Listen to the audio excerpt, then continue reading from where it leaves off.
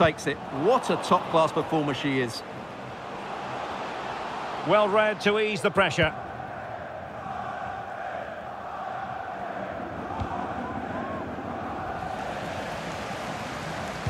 Might work out. Well, we always try to be fair about it, but that really...